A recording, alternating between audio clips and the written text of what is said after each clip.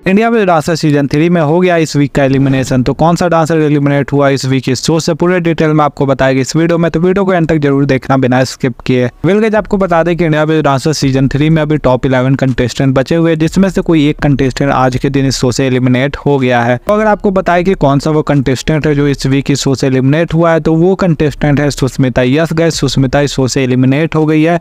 सुस्मिता की एलिमिनेशन की जो मेन रीजन है वो ये कि उनके मार्क्स सबसे ज़्यादा लो थे।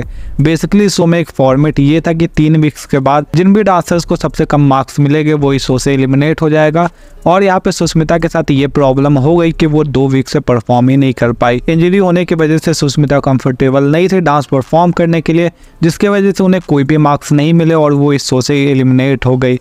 और जैसा कि सुष्मिता के कोरियोग्राफर ने यह बताया कि अभी भी सुष्मिता की इंजरी सही नहीं हुई है और वो आगे के वीक में भी परफॉर्म नहीं कर पाएगी। तो यही रीज़न है जिसकी वजह से सुष्मिता को इस शो से बाहर जाना पड़ा। सुष्मिता के जितने भी फैंस उनके लिए तो ये बहुत ज़्यादा सैड है, क्योंकि सुष्मिता एक ऐसे डांसर से जो कि शो में स्टार्टिंग से ही काफ़ी अच्छा परफॉर्म कर रही थी और ऑडियंस भी उन्हें काफ़ी पसंद कर रहे थे। उनकी डांसिंग भी काफ़ी अच्छी थी, लेकिन शायद सुष्मिता का लक सही नहीं था और उनके किस्मत को ये मंजूर नहीं था कि वो इस शो की विनर बने, जिसकी वजह से वो इस शो से इलिमिनेट हो गई। तो इन सब के ऊपर आपके क्या ओपिनियन है? आपको क्या लगता है सुस्मिता का जो ये एलिमिनेशन है, ये सही है या नहीं? आप अपने ओपिनियन नीचे कमेंट में ज़रूर बताना और इसी तरीके से रियलिटी शो से रिलेटेड अपडेट के लिए हमारे चैनल को ज़रूर सब्सक्राइब करना।